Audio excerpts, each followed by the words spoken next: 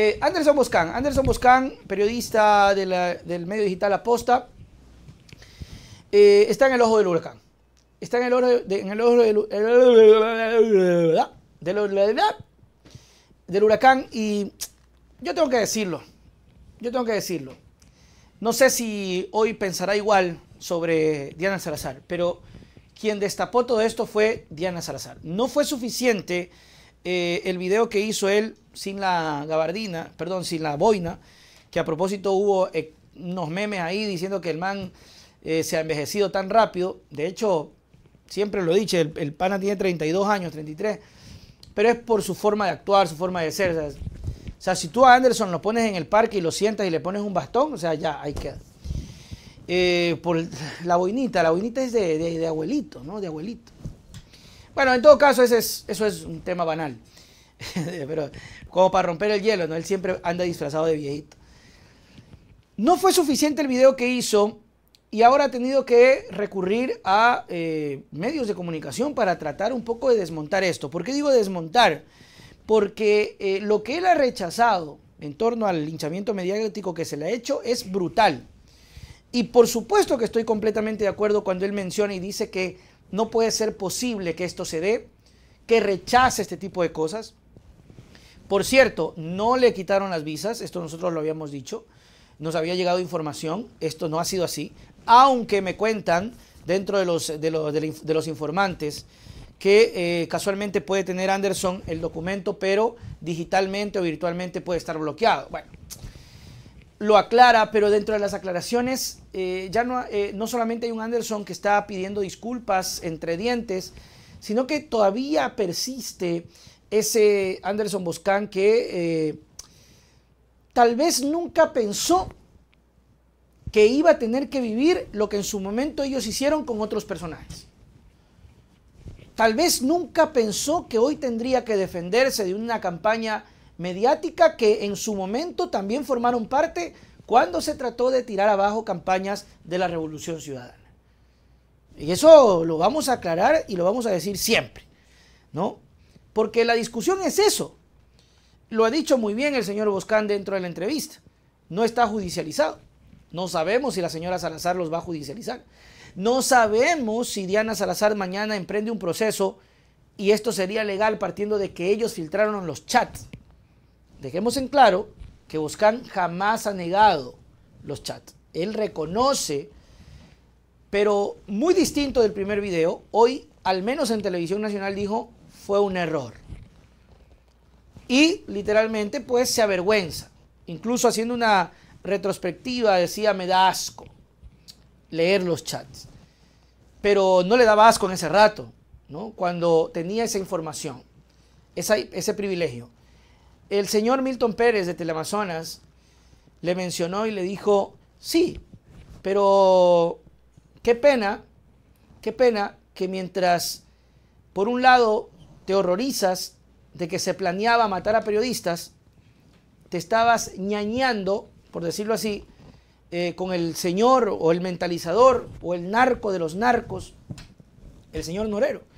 Son cositas que Boscan no pudo responder que lamentablemente no tuvo salida y que hoy se ven atrapados y ahogados y que la salida, por lo que medio entiendo, es alejarse del periodismo, eh, salirse tal vez, no sé, de su propia empresa, creo yo, precautelando los, los activos y el nombre de la compañía, ¿no? Porque acuérdense que ellos, eh, más que una página de YouTube, eh, ellos hicieron su empresa, ¿no? Llamada La Posta. Entonces, lo que ellos, lo que entiendo de ellos es que eh, quieren que esto sobrepase a los personajes y pueda sobrevivir sola. No sé hasta qué punto pueda sobrevivir, sobrevivir solo, porque en medios digitales siempre es bueno que se ancle a la imagen de un personaje. Y en ese sentido, Anderson y Buscan lo han hecho muy bien. O sea, no me vas a venir a decir que Castigo Divino puede seguir sin Boscan, sin Vivanco. ¿no? es como el sello. Y la posta tiene su sello, que es el señor Boscan y el señor Vivanco. Entonces no me vengan a decir que solito puede arrancar. Yo lo veo muy difícil, muy difícil. Pero creo que son esas consecuencias que me imagino yo las, las tiene que asumir. Hay muchas cosas que dice Boscan que me parece interesante analizarlos, porque en su momento también cometieron esos errores y solamente cuando ocurren este tipo de situaciones es que despiertan y dicen, ay, ay, ay, perdónenme. Y yo, sinceramente, ya estoy un poquito harto de esas actuaciones. ¿Por qué? Porque pasó igual cuando despotricaron contra Leonidas Sisa sin haberles hecho nada. Una, se les ocurrió en televisión nacional poner la cara de Isa, lanzarle dardos, decirle cabrón, despotricar, despedazarlo. Y no les importó que en ese momento una familia se estaba destrozando viendo cómo en televisión hablaban de su papá. Hablo del hijo de Leonidas, que yo en una entrevista le consulté y dijo, mi hijo lloraba porque no entendía por qué eh, estos dos personas en televisión, incluso asumiendo el rol de la interpretación, daban a entender que querían acabarme. O el mensaje era acabémoslo, lanzándole dardos. Mi hijo lloraba, decía Leonidas Isa. Se armó un revolún, pidieron disculpas. A las dos semanas en Twitter le dieron cabrón. Otra vez. Entonces, eh, ¿cuál es el juego acá? ¿O cómo es el juego aquí?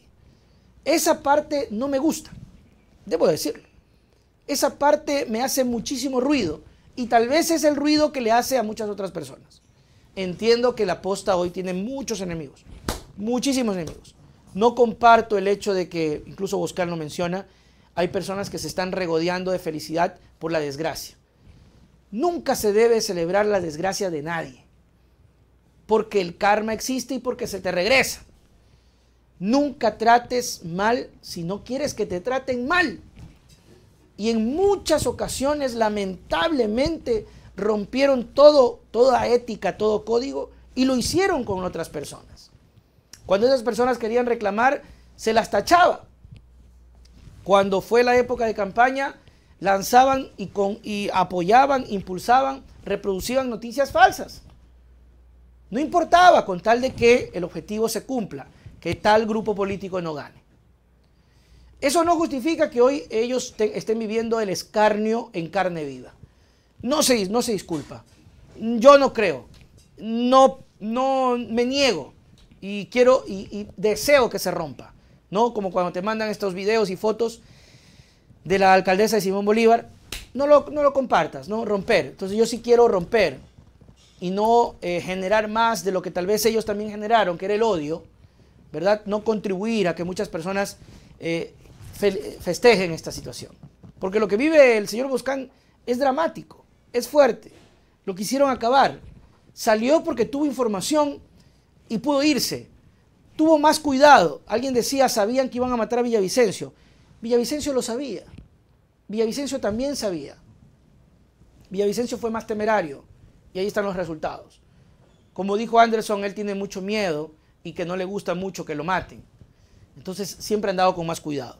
Pero vamos a escuchar palabra por palabra lo que nos tiene que decir Buscán en esta entrevista.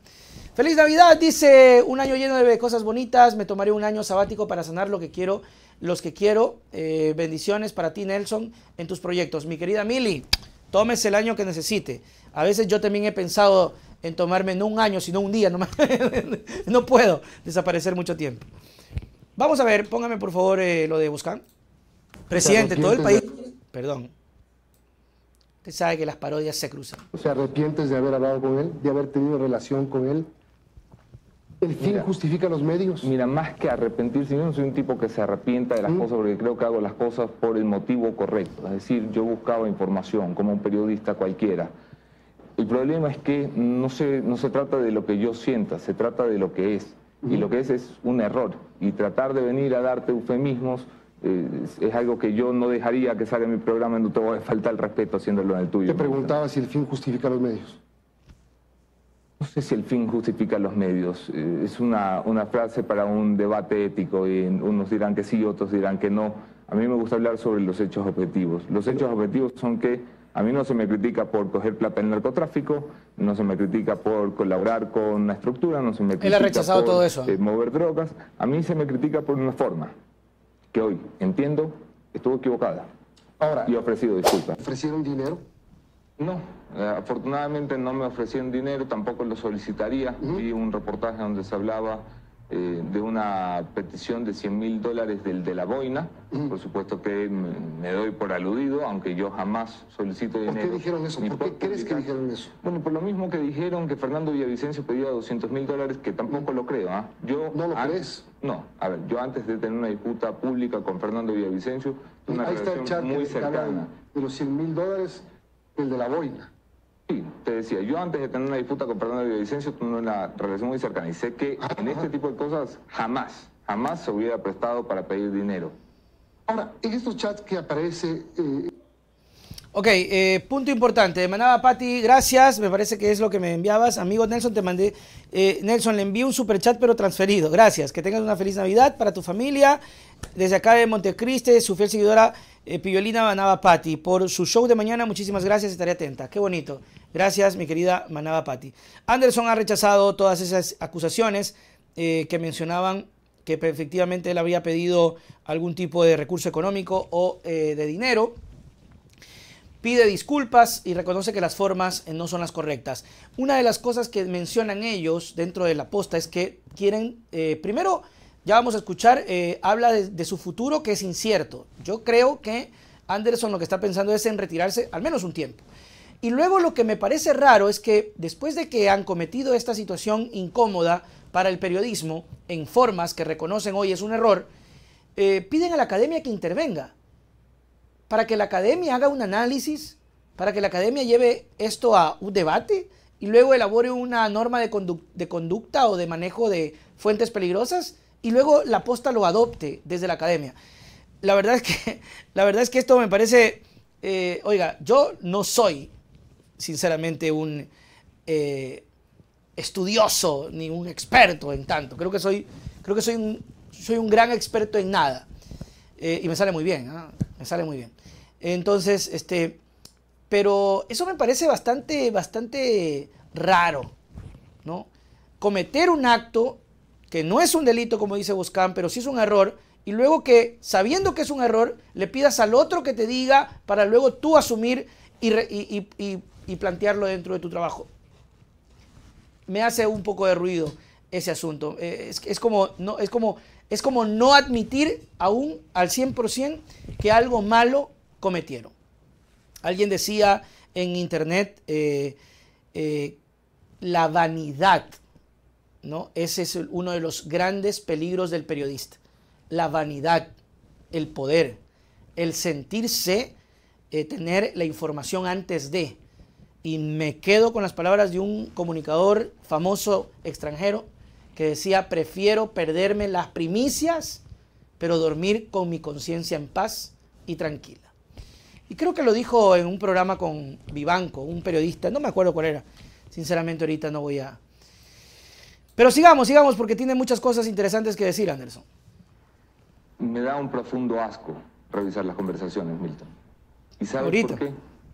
Porque en las últimas horas, cuando he visto que se mandaba a matar periodistas, uno de ellos incluso asesinados, ya no es un asunto de forma. Ya no es un asunto de forma solamente, que es lo que eh, veníamos hablando y conversando, y podemos hablar de todo, y podemos decir y explicar por qué las palabras, por qué los términos, por qué las frases, pero no es un asunto de forma ah, yo podría decir que mientras Leandro Norero planificaba atentar contra terroristas, periodistas, tú te ñañabas con él. eso fue, eso fue, eso fue una puñalada de, pero de, frente. Claro, vienes acá, te sientas ahí. saludos Camilo, gracias por ese gran superchat. Vienes aquí, nos dices que estás mal, que te da asco lo que hiciste, pero lo ñañabas, era tu pana, era tu brother, al tipo que estaba planificando matar a periodistas, obviamente Buscán responde que sí, y, e incluido él también, ¿no? ¿Tienes visa a Estados Unidos? ¿Te la retiraron? ¿Es verdad eso? Mira, me parece un... Yo entiendo, yo también haría la pregunta, pero me parece hiper tercermundista que tengamos ese tipo de discusiones como si esto fuera eh, un pasado judicial o alguna cosa. Sabía que ibas a hacer la pregunta, no me, pidas que lo muestre, no me pidas que lo muestre en cámara, pero yo nunca he recibido ni un correo electrónico, ni una llamada, ni una visita al embajador diciendo lo contrario. Mi visa está vigente, múltiples visas están vigentes. Eh, entonces, lamento que los troll centers tengan el poder en este país de instalar temas de debate público que llegamos a tocar en un canal nacional, imagínate. En este punto no estoy de acuerdo. Primero, tratar, tratar de tercermundista a la gente. A ver, eh, repítalo, por favor. ¿Tienes visa a Estados Unidos? ¿Te la retiraron? ¿Es verdad eso? Mira, me parece un. Yo entiendo, yo también haría la pregunta, pero me parece hiper tercermundista que tengamos ese tipo de discusiones como. ¿Por qué? ¿Por qué tercer, hiper tercermundista? Claro, yo entiendo, porque es mentira, según él. ¿Y por qué cuando se ha tratado otro tipo de noticias jamás se ha llegado a la jamás se ha llegado al final y se ha emitido un juicio y se ha emitido la información o se lo ha dicho? ¿Por qué, por ejemplo, cuando se ha mencionado cosas de ellos, que al parecer, según la versión de, de, los involucrados, es una mentira, es decir, no les han quitado la visa, es tercermundista, pero cuando se trata de otros temas políticos, de otros personajes, y hay rumores, hay chanchullos, hay pactos, es lo primero que se pregunta. No entiendo, eh, aquí es, aquí es donde creo yo que realmente Anderson sí está un poco alterado, perdido, porque no era la respuesta porque él es el primerito cuando hace las entrevistas de preguntarle por cosas que se dicen incluso como chisme de pasillo en la asamblea. O sea, cuando se sienta, lo primero que le pregunta, y, de las pocas veces que he visto, es, ¿usted ha hecho pacto con Correa? Es que eso se dice. Dice, sí, se dice, es parte de la conversación, es parte de la, de la entrevista. Milton lo iba a hacer, él dice que sabía que lo iba a hacer. Calificar esto de tercermundista y luego decir que los trolls tienen el control, no es que los trolls tienen el control, creo que la comunidad, la sociedad, la opinión pública a la que ellos han jugado, porque ellos, ellos saben jugar a la opinión pública.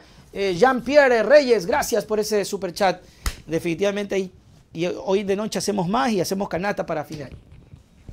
Ellos saben cómo manejar la opinión pública porque son expertos en aquello. Entonces sí me parece un poco chocante escuchar a una de las personas que mejor sabe trabajar la opinión pública, decir que es tercermundista y que es chocante que eh, una narrativa se instale por, trolls.